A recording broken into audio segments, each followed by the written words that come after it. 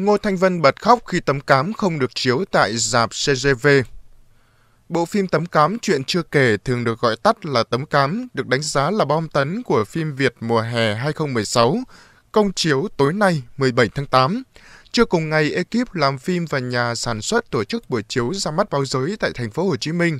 Cuối buổi chiếu, Ngô Thanh Vân và bà Ngô Thị Bích Hiền của công ty BHD, đại diện đơn vị sản xuất, xác nhận bộ phim không được phát hành tại cụm dạp CGV lớn nhất nước.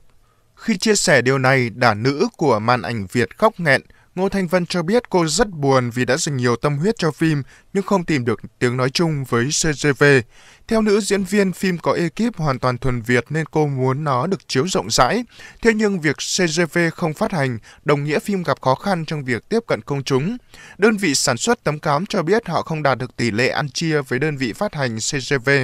Với tâm huyết và kinh phí gấp đôi kinh phí trung bình cho một bộ phim ở Việt Nam, đơn vị này mong muốn tỷ lệ ăn chia doanh thu của chủ phim và chủ dạp là 50-50.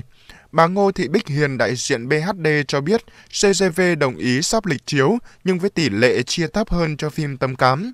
Đoàn phim cảm thấy điều đó không công bằng và không chấp nhận đề nghị của CGV vì không thể để phim Việt chịu lép vế.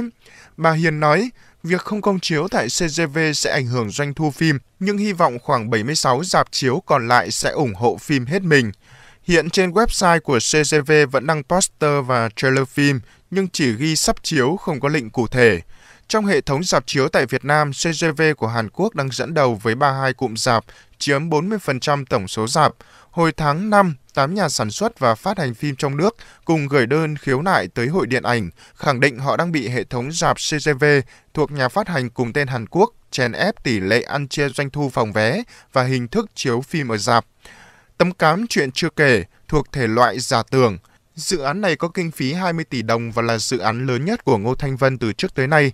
Phim có sự tham gia của các diễn viên Ngô Thanh Vân, Hạ Vi, Ninh Dương Lan Ngọc, nghệ sĩ ưu tú Thành Lộc, Ngọc Trai, các thành viên của nhóm 365.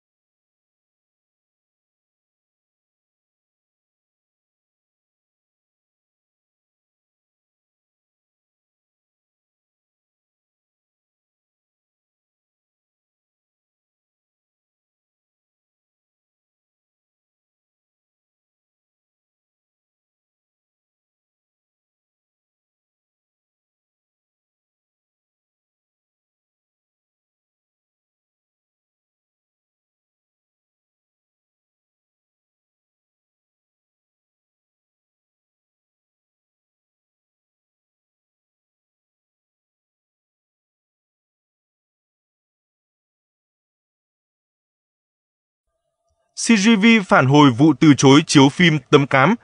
Đơn vị này cho biết nhà sản xuất VAA và BHD đã đơn phương từ chối hợp tác do không đạt được thỏa thuận kinh doanh.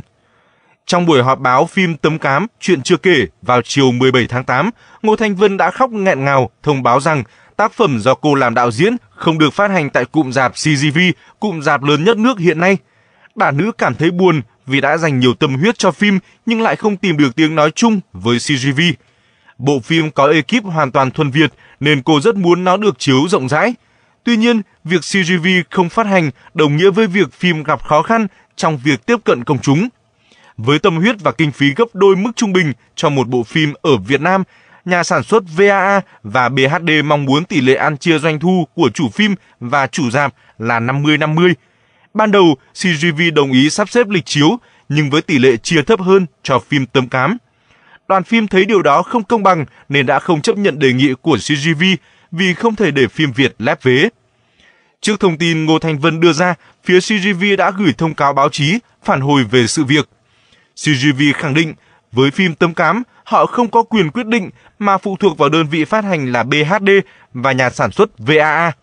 Chính BHD đã đơn phương từ chối hợp tác do không đạt được thỏa thuận kinh doanh. Thông cáo có viết, trong quá trình thương thảo về việc phát hành phim, Mặc dù chưa đi đến thỏa thuận cuối cùng, nhưng chúng tôi vẫn nỗ lực quảng bá cho phim Tấm Cám, chuyện chưa kể, tại tất cả cụm rạp của CGV, cũng như duy trì đăng poster phim trên website và trang fanpage của công ty. Chúng tôi đã nhiều lần trao đổi với BHD là với suất chiếu lớn thì chi phí để vận hành dạp tương ứng sẽ rất cao. Thực tế, trong việc phát hành phim, CGV và các đối tác sẽ cùng nhau xây dựng và thống nhất áp dụng tỷ lệ phân chia doanh thu phòng vé dựa trên chất lượng phim, số lượng dạp chiếu và phòng chiếu của đơn vị phát hành. Tỷ lệ này đã thống nhất từ trước tới nay cho tất cả phim Việt Nam khi phát hành tại dạp CGV. Để đảm bảo cho lợi ích chính đáng của hai bên, chúng tôi đã đề nghị BHD xem xét điều chỉnh tỷ lệ cho phù hợp. Tuy nhiên, theo thông tin cập nhật đến ngày 17 tháng 8, công ty BHD chính thức từ chối cung cấp phim tấm cám cho hệ thống dạp CGV vì không đạt được thỏa thuận kinh doanh như BHD yêu cầu. Quyết định đơn phương của BHD đã phần nào hạn chế việc phổ biến bộ phim tới khán giả trên toàn quốc. Phía CGV cũng phủ nhận thông tin họ chèn ép phim Việt ưu tiên truyền bá văn hóa Hàn. CGV nhấn mạnh đây là thông tin hoàn toàn thiếu căn cứ, có chủ đích và có dấu hiệu vi phạm luật cạnh tranh – theo CGV, sự việc tiếp tục được tác động trên cộng đồng mạng gây hiểm khích, chia rẽ, cổ suý cho hành vi cạnh tranh không lành mạnh, đồng thời ảnh hưởng nghiêm trọng đến hình ảnh và danh tiếng của công ty.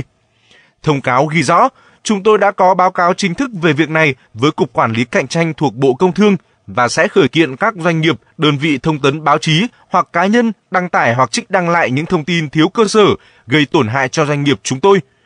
Cuối cùng, CGV cho biết từ đầu năm 2016, họ đã chiếu 8 phim Việt và dự kiến tiếp tục phát hành thêm 9 phim trong những tháng cuối năm nay.